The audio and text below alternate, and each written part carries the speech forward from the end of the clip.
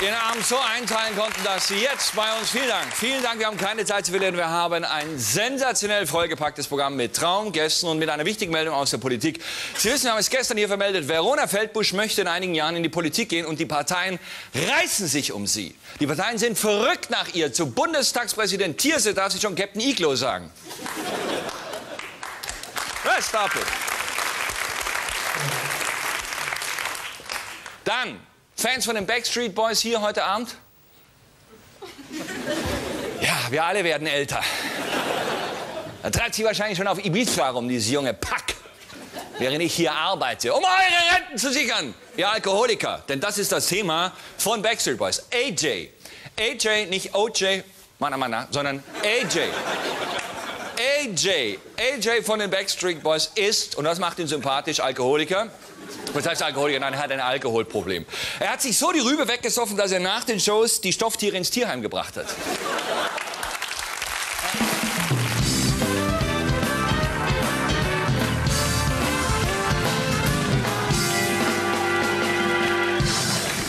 AJ, AJ, äh, ich kenne nicht mal mehr einen Hit. Wie heißt der bekannteste Hit von den Backstreet Boys?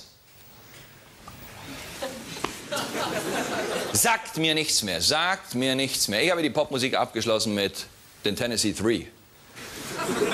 Carl Perkins and the Tennessee Three. Ihr kennt sie, oder? I was born in a burning ring of fire. Damals 1952, als ich meine letzte Pop-CD gekauft habe. Seither glaube ich hier abends die Platten der Gäste. Musikalisch. AJ von den Backstreet Boys war so besoffen, ja, er hat nicht mehr, mehr die Linie vom Koks getroffen.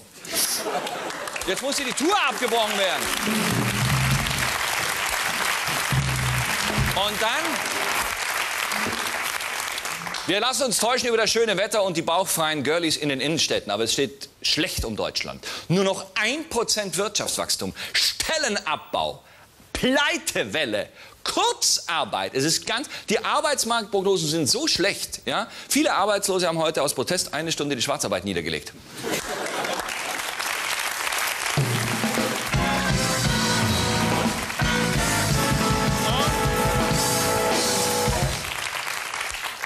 Die CDU, meine Damen und Herren, unsere großartige Partei, die CDU hat festgestellt, die Wirtschaft befindet sich im Sturzflug. Und die CDU kann das beurteilen, denn sie hat die gleiche Flugrichtung.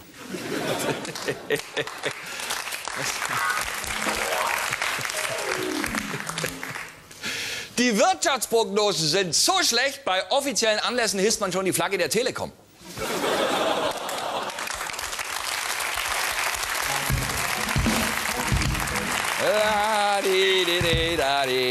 Aber wir sind stolz auf die Deutsche Telekom und auf unser Team. Deutsche Telekom bei der Tour de France. Erik Zabel schon zwei Etappensiege.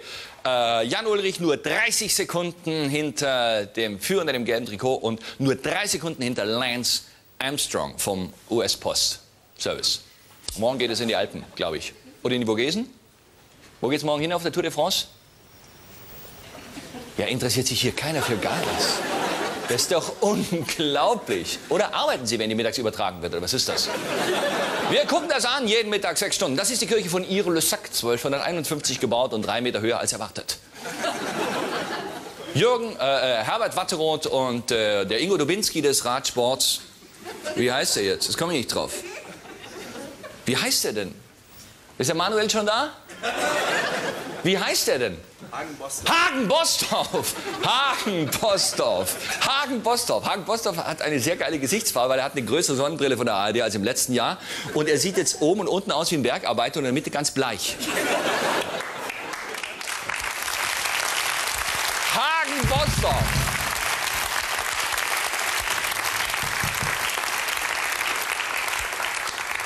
Dabei hat mir der Arzt gesagt, die Nissen seien weg. Der sind Menschen hier, die Urlaub in Italien planen, meine Damen und Herren? Da habe ich ja noch mal Glück gehabt. Vorsicht, Italien wird jedes Jahr kleiner. Italien verliert von Jahr zu Jahr 1,5 Meter an Küste. Es hat allerdings den Vorteil, dass der Weg vom Hotel zum Strand kürzer wird.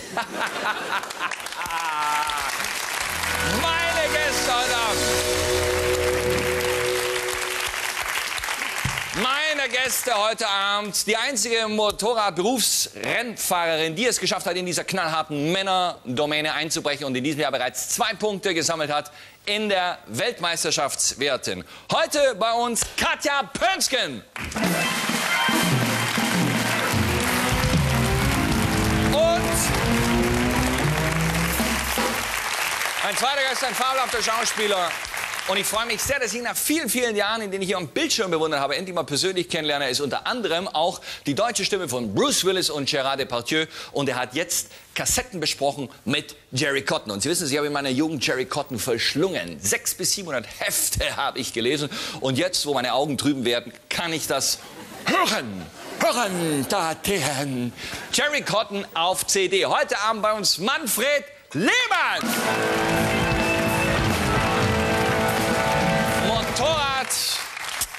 Profifahrerin Katja Pönsken und, meine Damen und Herren, Manfred Lehmann, ein großartiger Schauspieler, deutsche Stimme von Bruce Willis und von äh, Gérard Depardieu. Und er hat Jerry Cotton auf Kassette gesprochen, für alle, die es lieber hören statt lesen. Das hier sind die aktuellen CDs. In Aspen ist die Hölle los. Route 66, Straße zur Hölle. Mir blieben nur noch Stunden und Blutnacht auf dem Airport. Habe ich zum Teil, glaube ich, schon gelesen. Echt? Ja, das ist irre. Wir können das nachher mal in den Ausschnitt hören. Das ist großartig gemacht. Und äh, es ist auch für mich eine Erleichterung, weißt du, Eigentlich dass wollten wir es jetzt hören. wir wollten es jetzt hören? Ja. Jetzt schon? Ja. Ich bin völlig durcheinander, weil mir Hagen Bostorf nicht mehr eingefallen ist, dieser Ja. Name. Mensch, weißt Hagen du? Bostorf. Ja, Hagen Bostorf. Hagen Bostorf, der heute noch gesagt hat, dass die Kirche in Ir-le-Sec äh, 1241 renoviert wurde. Auf dieser acht Stunden lang. Hättest du es gewusst, Hagen Bostorf? Ja, ich hätte es gewusst. Ja. Ja. ja. Du machst ja auch den ganzen Tag nichts anderes als das Gucken. Ja, eben. Deswegen weiß ich auch, dass es morgen weder in die Alpen noch in die Vogesen Sondern? geht. Ziemlich flach. Äh, äh, Mannschaftszeitfahren. Mannschaftszeitfahren. Und das ist der letzte Satz von Jürgen Emich heute gewesen in der Reportage. Das Klassement, das Sie jetzt sehen, meine Damen und Herren, wird morgen Durcheinandergewirbelt. ordentlich durcheinandergewirbelt werden. Wie sieht das, die Chance von unserem fantastischen Team Deutsche, äh, Deutsche Telekom aus? Also ich würde sagen, wenn Sie ein bisschen schneller sind als letztes Jahr, wo Sie 40 Sekunden auf US Postal Das ist das hatten, Team von Lance Armstrong. Genau, da können wir glücklich sein. Also ich denke, morgen fährt Lance Armstrong ins äh, Gelbe und äh, Das ist Fachsprache übrigens. Morgen fährt Lance Armstrong ins Gelbe. Morgen fährt Lance Armstrong ins Gelbe. Das heißt nicht, er rast in ein Telefonhäuschen, sondern er fährt ins gelbe Trikot. Uns interessiert das, die Fachsprache, das Loch zufahren. Das Loch zufahren. der Patron der Tour. Der Patron der Tour. Und die Tour hat wieder einen Patron, das ist eindeutig Lance Armstrong. Ja, aber man mag ihn nicht, wie heute. Wieso? berichtet. Wieso mag Ja, man ihn nicht? Weil äh, Rudi Altig hat gesagt, man mag nicht... Rudi Altig, ein großartiger Kommentator, eine Legende, Verfasser des Buches Elf Speichen müsst ihr sein. äh, bei Jürgen Ehm. Ich habe ihn gerade noch gesehen um, um 17.11 Uhr, wie er nochmal das zusammengefasst hat, den heutigen Tag. Genau, und er hat gesagt, es hat Tradition. Man hat nicht Ino äh, gemocht, sondern den zweiten. Man hat Polidur gemocht und nicht so Eddie Merckx. Man hat aber Eddie Merckx nicht gemocht. Nein, Man das war doch der Kannibale aus... Nein, es ist Man hat der Kannibale, der legendäre Spitzname von Eddie Merckx. Und man hat auch äh, Miguel Indurain nicht gewusst, gemocht. Nein, das war Den ja stinke langweilig. Der ist ja immer nur mitgefahren, hat ein Einzelzeitfahren gewonnen und aus. Nein, man braucht die Emotionen, man braucht dieses Verlierertum in Frankreich. Richtig. Und Warum fährt Boris nicht mit? äh, scheiße, ist mal der Berg. Das würde genau. man sehen Ja, genau, wollen. genau. Oder, äh, wartet mal, da war eine alte, ich halt schnell. das, ist, das ist ja irgendwie... Oh, Moment, ich muss Start machen, ja? Hallo. Obwohl, ich glaube, ich glaube, Boris müsste dazu nicht mal absteigen. Einfach ein Stück mitnehmen und dann adios. Äh, hier ist die Nummer von meinem Anwalt. Also morgen fährt Lance Armstrong. Wie ist das Team von Once äh, zu, be zu bewerten? Der spanische Once? Once. Ach, die fand... Kein Star. Nein. Deu Deutsche Telekom, morgen. Jan wird, wird, wird Jan rangefahren von seinen Leuten an. äh, Naja, die sind halt außer Jan nicht so stark im Zeitfahren. Also, naja, Schadensbegrenzung. Wo ist das Einzelzeitfahren, das Mannschaftszeitfahren morgen? Äh, f- Von Le Roi-Steux nach ja, Le Roi genau. de Liverdy. Ja. Heute wurde in Huy gestartet, kenne ich, bei Lüttich. Hui, genau. Hui, Hui bei Lüttich, hinter Lüttich schon, zu, auf dieser gefährlichen Autobahnabfahrt, wo es auf der einen Ecke Richtung Luxemburg geht, auf der anderen Ecke Richtung Paris, wo ich schon teilweise schwere Unfälle fast gebaut hätte, wenn nicht wirklich noch osteuropäische Kleinwagen noch orientierungsloser gewesen wären. ah! und hinter mir den Hungaro-Kamion abgefangen hätten. Hungaro-Kamion. Ich keine Vorteile gegen Hungaro-Kamion, aber wenn ich Hungaro-Kamion hinter mir sehe, mache ich Pause. Ja. Dann weiß ich 84 Stunden und Kaffeepulver roh. Zum Wachbleiben. Ja, und dann ging es ja heute über die französische Grenze in die Re Region Meuse. La Meuse. Mhm. La Meuse, die Masse. Und auch eine berühmte belgische Tageszeitung. Als ich noch Steuerflüchtling war in Belgien, habe ich oft La Meuse. La Meuse. Bonjour, La Meuse, s'il vous plaît. Keiner hat es kapiert außer mir. Und morgen geht es von äh, Verdun nach Bar-le-Duc. Bar-le-Duc ist ein fantastisch, von Verdun nach Bar-le-Duc, das ist eine traditionsreiche Strecke. Ja, absolut. Schon immer gewesen. Und viel Wind. In frühen Jahren von Verdun nach Bar-le-Duc. Bar-le-Duc ist ein berühmter Bahnhof. Ich erinnere mich aus meiner Interrail-Zeit, als ich ja über, von Stuttgart nach Kreta fahren wollte, aber über Straßburg gefahren bin, weil, ich, weil es dort nur 8 Mark gekostet hat bis zur Grenze mit Interrail, während es bis Salzburg 12 Mark gekostet hat. Ja? Und Bar-le-Duc, da hält der Schnellzug von Stuttgart nach äh, Paris Elf. ungefähr um 3 Uhr morgens. Ja. Das, ist, das ist Nancy, Metz, nein, Metz, Nancy, Bar-le-Duc dann glaube ich Reims, weiß nicht genau, ob Reims auf der Stelle. Und da geht man von Verdun. Und ist das, sind das Berge der dritten, vierten und fünften Kategorie? Nein, ganz flach. Dürfen wir überhaupt reden? Das ist ja nur Berichterstattung, Zitatberichterstattung. Ja, ja, eben. Wir zeigen ja keine Bilder. Wir zeigen keine Bilder, sondern wir zeigen äh, Töne. Und zwar, meine Damen und Herren, Sie werden jetzt Töne sehen zu Hause. Setzen Sie bitte ganz nah vor Ihr Bildschirmgerät und drücken Sie bei der Fernbedienung auf ganz nach rechts bei Lautstärke. Denn jetzt ähm, spielen wir einen Ausschnitt vor aus einer, und du musst raten, aus einer CD von Jerry Cotton, gelesen von unserem Gast Manfred Lehmann, der gleich kommt. Und äh, Sie können zu Hause raten und Herr Andrak, wird der Patron es. der Tour, wird, wird auch raten, aus welcher CD. Jerry Cotton. Moni grinste. Dann ging er in die Herrentoilette und zog eine Packung Kondome aus dem Automaten. Nancy, so hieß die Blonde, verließ die Damentoilette und sie trafen sich vor dem Lagerraum. Er machte eine Kopfbewegung zur Tür mit dem Schild Privat hin. Der Atem der Blonden beschleunigte sich. Sie sahen sich kurz um, dann betraten sie den kleinen Raum. Moni schloss die Tür und betrachtete danach die Frau eingehender. Ihre üppigen Brüste hoben und senkten sich. So heftig ging ihr Atem jetzt. Langsam zog sie sich ihr dunkelblaues Trägershirt über den Kopf und Moni fühlte eine Glutwelle durch seinen ganzen Körper rasen. Oh, das ist Jerry Cotton. Er zog sie an sich. Das war auch früher anders. Oberkörper mit Küssen, früher spritzte irgendwie Hirn an die Wand Gürtel und so weiter. Seine Jerry großen Cotton. Hände packten ihre Gesäßbacken. Dann hob er die dralle Blonde auf einen schmalen Das ist kein Jerry, das ist Jerry Cotton. Und dort nahm er sie mit drängenden Stößen. Das erinnert mich an Konsalik früher. Als sie ins Squabstop-Restaurant zurückkehrten, sah Moni den Mann, der ihm den Kaffee spendiert hatte, ungeduldig winken. Hey Kumpel, wo bleibst du? Uh. Mike will ein paar Bilder von uns machen. Danke. Rief Winnie ganz Ganz schön harter Stoff. Das erinnert mich an Konsalik. Habe ich immer gesucht, weißt du, die Stellen. Dahinter. Der Arzt riss sich die Uniform, ihre Hüften drängten sich an sie. Das amputierte Bein behinderte ihn.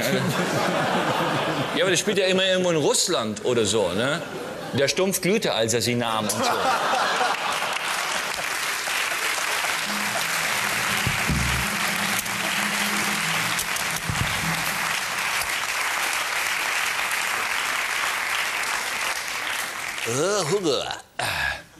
Heute Mittag habe ich eine, eine, wahnsinnig gut aussehende Frau gesehen im Fernsehen. Mhm. Haben wir Zeit? Kann ich das erzählen? Oder muss ja, ich jetzt was zeigen? Ich habe eine unglaublich gute aussehende Frau gesehen. Und zwar, ich sitze da kurz vor eins und warte auf Neues vom neuen Markt natürlich. Mhm. Ja, weil ich mir sage, wie sieht's aus im Penny-Stock-Bereich? Soll ich wieder reingehen bei, egal wo eigentlich, ja, für 30 Cent, da gucken wir nicht so genau hin.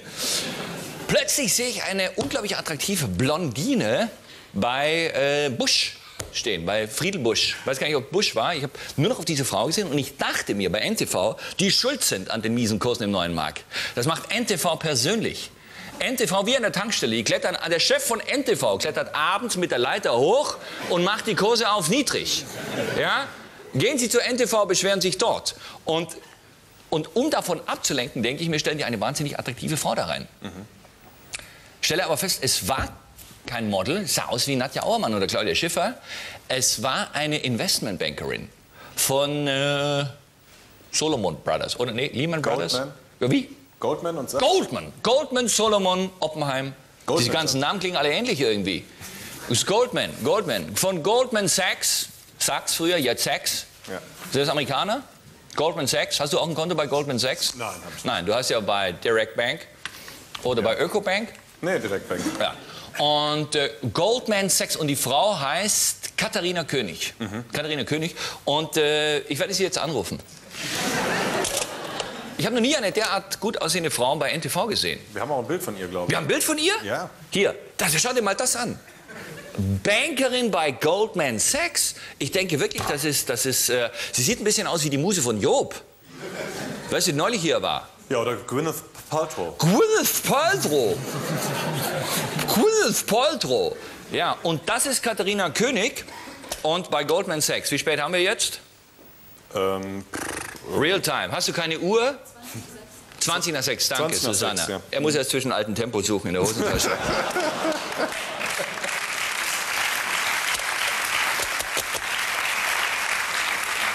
Dass ich kein Freizeichen höre, ist das normal? Muss ich eine Null drücken? nee, eigentlich nicht. Leg doch mal auf. Das ist eigentlich ein Freizeichen. Jetzt, jetzt höre ich ein Freizeichen. 069, das kenne ich noch von Jürgen Schneider, als ich früher angerufen habe. Goldman Sachs. Hm, hm, hm.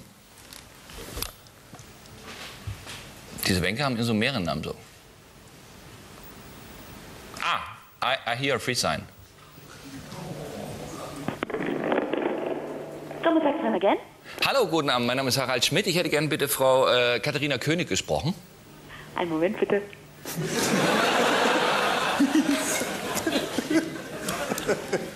Er will uns bestimmt veräppeln.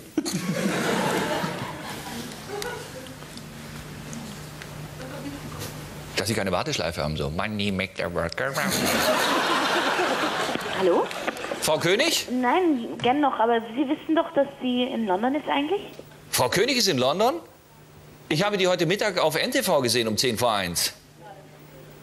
Hallo? Ja, ich überlege gerade. Ähm, sie ist eigentlich based in London. Bitte? Sie ist based in London. Könnte sein, dass sie heute da ist. She's based in London. I've seen her in a German TV sender.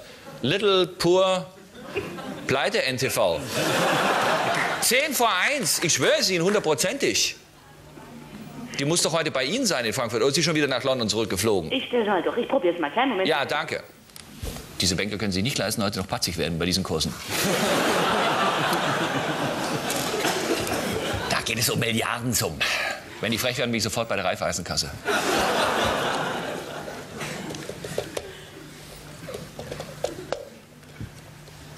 This is Goldman and Sachs. We're sorry for your depot, but wir waren's nicht. Congratulations. Three, two, one, hero.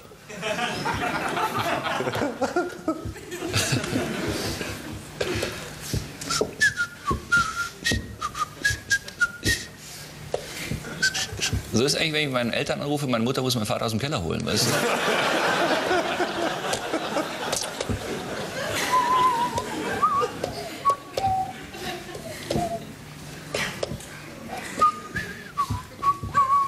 Denn Investmentbanking ist natürlich eine Sache, in der es um Sekunden geht.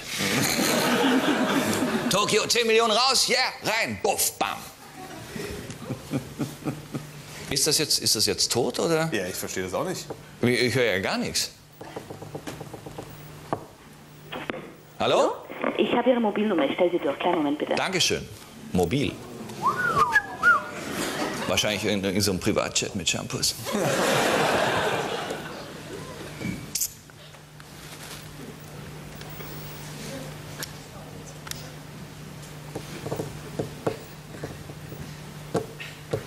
So wünschen wir uns berufstätige Frauen in Deutschland. Verstehst du? Nicht abgehetzt mit zwei Tüten auf dem Rad nach Hause schaukeln und so. Based in London. Frau König ist based in London.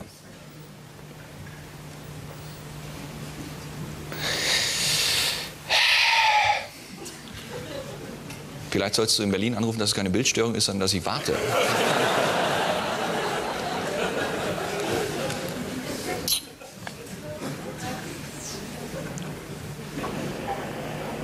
Hallo? Hallo, Frau König? Ja?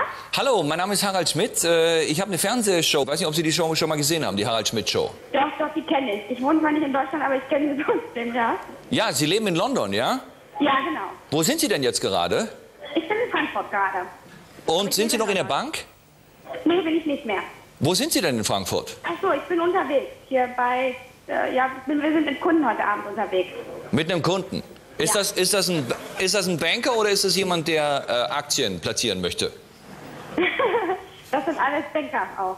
Das sind alles. Ich habe Sie heute Mittag gesehen um 10 vor 1 bei äh, NTV, ja? Ja, Und äh, nicht nur, dass Sie das natürlich fachlich glänzend gemacht haben, sondern ich war auch äh, unglaublich beeindruckt, wie attraktiv Sie aussehen. ach Mensch, das ist ja nett. Nein, Naja, weil für uns bei diesen Kursen ist natürlich wichtig, dass wir was für, fürs Auge eine Freude haben. Ja? Das ist mein Publikum. Das sind die kleinen Aktionäre von der Telekom, die ich heute Abend eingeladen habe. Leben Sie denn in, leben Sie in London? ja, Wie lange sind Sie denn in Frankfurt noch? ich bin nur noch heute Abend hier. Sie sind morgen schon wieder in London? Ja, ich bin wieder unterwegs. Wirklich? Und da gibt es auch keine Möglichkeit, das zu verschieben? Nein, Ich meine, das geht nicht. Nein. wir, wir hätten Sie natürlich wahnsinnig gerne morgen hier in die Show eingeladen. Nein, leider geht das nicht. Werde ich nicht machen können. Das können Sie, was haben Sie denn morgen in London für Termine? Sehr wichtiger. Ein Freund von mir wird 30, das ist ein wichtiger Termin. Ja, aber das 30-Jährige ist ja nur eine private Sache. Stellen Sie sich mal vor, die Eigentümer von Goldman Sachs, wie heißen die eigentlich? Heißen die Goldman Sachs? Goldman Sachs, ja. Ja. Äh, Das ist ja eine unglaubliche Möglichkeit, PR zu machen für Ihr erstklassiges Bankhaus hier. Wenn Sie jetzt sagen, wegen einem 30-jährigen Geburtstag von so einem Typen, der eh bald wegen Devisenschwindel gefeuert wird, da, das sehen die Bosse bestimmt gar nicht gerne. Hallo, Frau König? Ja, ja, ich höre Sie. Höre Sie. Können Sie den Ja, ich, Termin muss nicht... Für leider, ich muss auf jeden Fall zurück. Sie müssen auf jeden Fall zurück? ja, auf um, jeden Fall. Um wie viel ist der Termin? Haben Sie das mit der Geschäftsleitung abgesprochen? Natürlich, wissen alle Bescheid. Wirklich wahr? Das können Sie doch gar nicht so schnell. Sie schwindeln. Nein, nein. Können Sie am Freitag kommen? Nein, leider nicht. Was haben Sie am Freitag für Termine? Ähm, weiß ich jetzt nicht, aber ich bin in London. Ich muss arbeiten und ich fahre auch auf eine Hochzeit und ich habe also jetzt keine Zeit. Eine Hochzeit. Ja, Wo ist die? die ist in London. In London. Sind das Banker, die da heiraten? Nein, Nein. Camilla? Das, aber, das ist, hat keinen dienstlichen Hintergrund, diese Hochzeit, oder? Nein, das ist auch privat. das ist privat, ja. Ja? Ja, Frau König, vielleicht können wir Sie noch umstimmen. glaube ich nicht, aber herzlichen Dank. Ja, wollen Sie Kohle?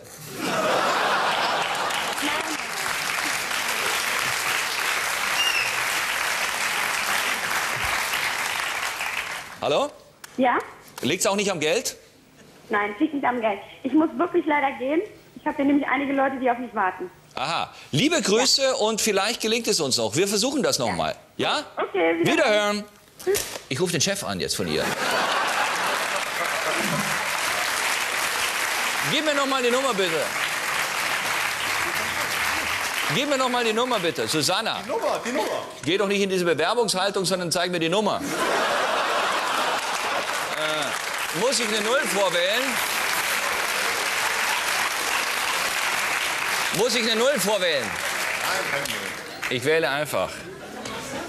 Ja, jetzt reicht's mir. Jetzt rufe ich Mr. Goldman an.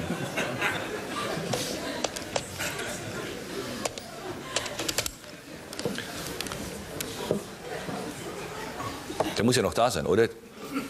Die Chefs gehen doch da bestimmt zuletzt. Horst Goldman und Walter Sachs. hallo, äh, Schmidt ist mein Name. Ich, hallo? Hallo? Ja, hallo? Ja, ich bin da. Ja, Schmidt, ich hatte gerade schon mal angerufen. Könnte ich zufällig noch Herrn Goldmann sprechen oder Herrn Sachs? Äh, nee, das äh, können Sie leider nicht. Die sind nämlich nicht hier. Tut mir leid. Ist irgendein Deutschlandchef im Haus? Ähm, Moment mal, ich stelle Sie mal weiter. Danke. Wie ist denn Ihr Name? Bitte? Wie ist Ihr Name? Schmidt, Harald. Ich hatte gerade schon mal angerufen. Okay, Moment bitte.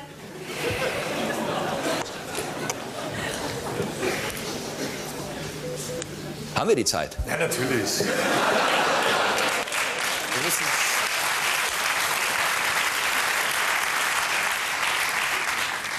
Wir müssen nur den großartigen Beitrag, wo äh, Helmut bei David Duchovny war, dann morgen zeigen.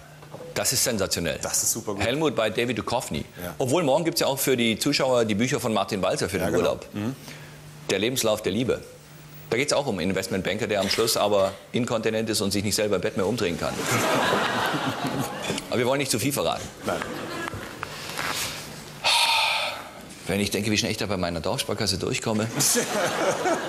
Nürtingen. Tut mir leid, da kann ich Ihnen heute nicht weiterhelfen. Es ist nämlich keiner im Haus. Kein Chef mehr im Haus? Nein, tut mir leid. Wo sind die denn? Das kann ich Ihnen nicht sagen, weiß ich nicht. Melden die sich nicht ab? Ähm, keine Ahnung, bei mir nicht. Ja, aber haben Sie nicht so eine Handynummer oder so, dass Sie den irgendwo rauskriegen? Es, ist ich- wichtig. Ja, nee, ich kann Ihnen aber wirklich nicht weiterhelfen. Da müssten Sie morgen wieder anrufen, die sind nicht da.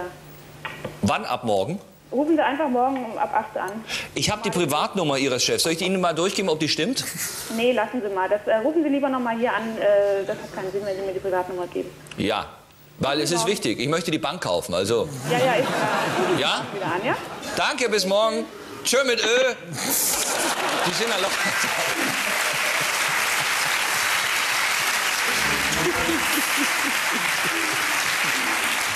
Aha. Mach sie weg. Geburtstage, das ist dieses Bankerleben. Hochzeiten, Geburtstage, dieses Gegickel die ganze Zeit. Verstehst du? Aber wenn ich zum Beispiel jetzt Stadtsparkasse Köln angerufen hätte, ja, oder Volksbank Friesenhagen oder so, die hätten sofort den Filialleiter hierher gefahren. Selber. Ja? Nein, Goldman Sachs, man scheint wohl nicht mehr nötig zu haben. Naja, dann lest mal ruhig morgen Seite 1 Wirtschaftsteil FAZ, damit ihr wisst, was euch das kostet.